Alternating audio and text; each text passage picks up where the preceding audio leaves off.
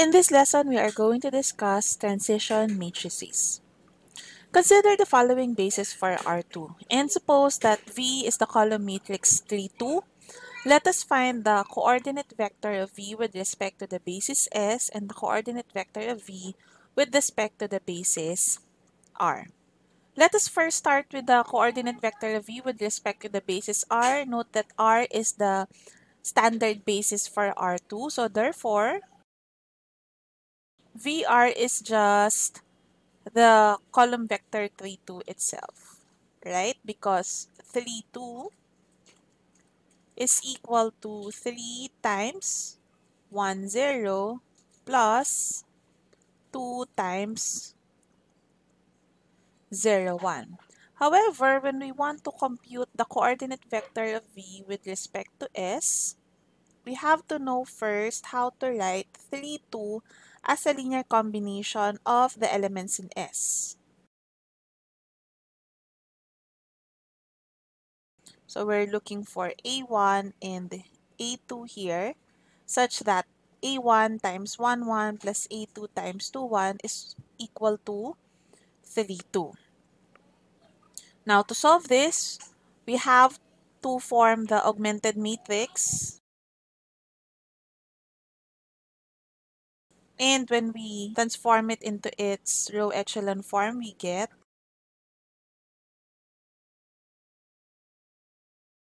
And from here, we get that A1 equals 1 and A2 is also equal to 1. So we can now replace this by 1 and 1. So therefore, the coordinate vector of V with respect to S is 1, 1. From this example, we've noticed that the coordinate vector is easy to compute when we are dealing with standard ordered basis. However, when it's no longer the standard ordered basis, we still have to do some computations. How are these two coordinate vectors related? That is the change of basis problem that we want to consider. If we change the basis of a vector space from one basis to another, how will the coordinate vectors be related? Let us recall the following theorem. If we have a linear transformation from V to W and we have basis for our domain and codomain, the coordinate vector of an element in V, when you multiply it with the matrix representation, you will get the coordinate vector of the image with respect to the basis of the codomain. Let us take our linear transformation to be equal to the identity linear transformation. It takes every vector in V to itself. Let us also get two bases for V. Let's call them R and S. These are ordered bases for V. This equation now becomes the matrix representation of the identity matrix from S to R. You multiply that with coordinate vector of V with respect to S. So here I am looking at S as the ordered basis for V and then R is the ordered basis for V here. This is equal to the image of V under I and then that's the coordinate vector with respect to what basis? This one. R. But what is I of V? I of V is simply equal to V. So this equation now gives us the relationship between two coordinate vectors with respect to two different bases. This matrix, the matrix representation from S to R is called the transition matrix or change of basis matrix from S to R. So meaning to say, when we multiply this transition matrix to a coordinate vector with respect to a certain basis, we will get the coordinate vector of this same vector with respect to a different basis. How does the matrix representation of I from S to R again look like? Recall that it will be the image of the elements in S, so that's I of V1, I of V2 up to I of Vn, but we will get the coordinate vector with respect to the basis R. But I of V1 up to I of Vn is just equal to V1 up to Vn.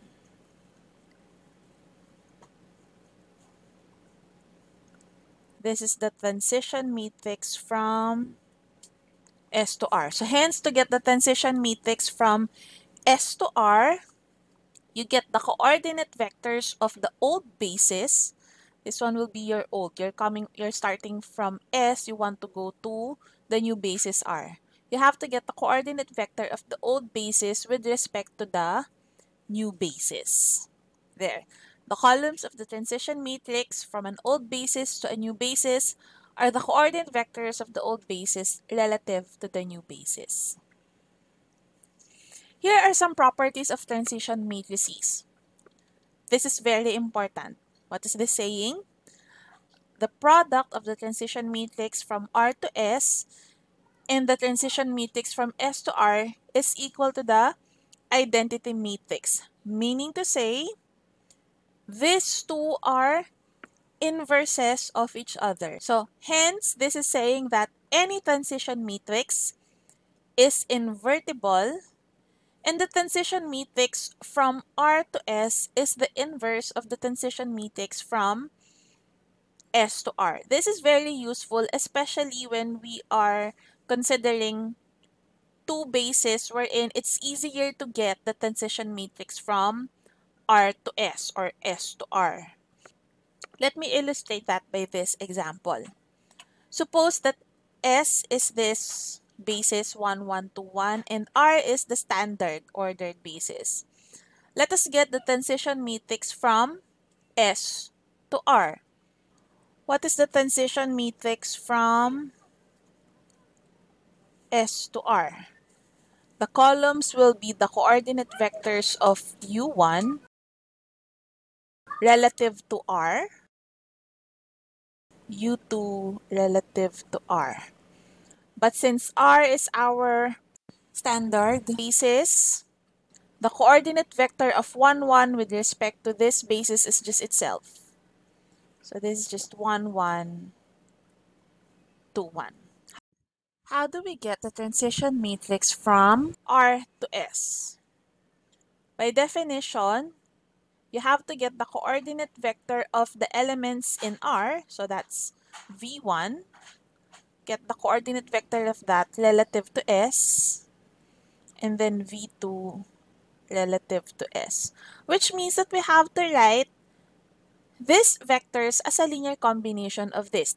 However, from our theorem, this matrix is equal to the transition matrix from S to R and get its inverse. All we have to do is to get the inverse of that.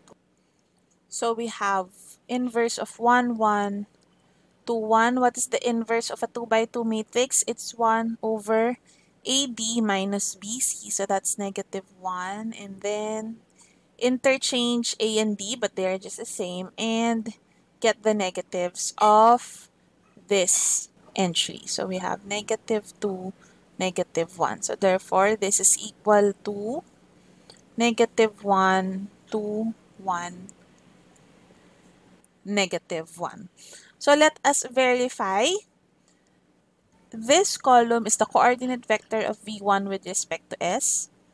Let us check is 1, 0 equal to negative 1 times u1 plus 1 times u2. We have negative 1 plus 2 is 1, correct? This is negative 1 plus 1, which is 0, correct. Next, coordinate vector of v2 with respect to s.